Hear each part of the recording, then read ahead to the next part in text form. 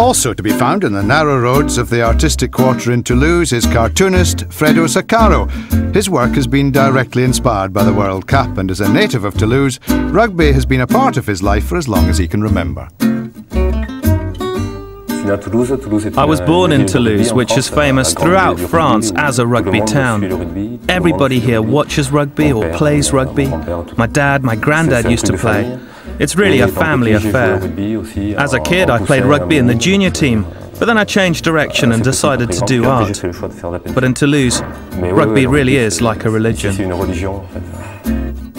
And for Freddo, it's the drama and characters of rugby he most appreciates and aims to portray in his work. Loads of things excite me about rugby.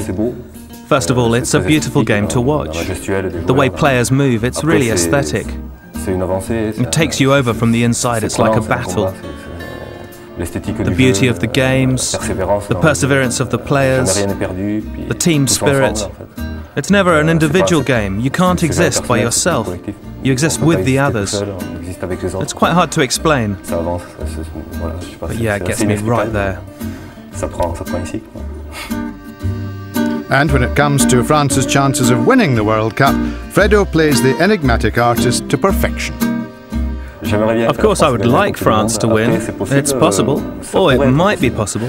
Why not?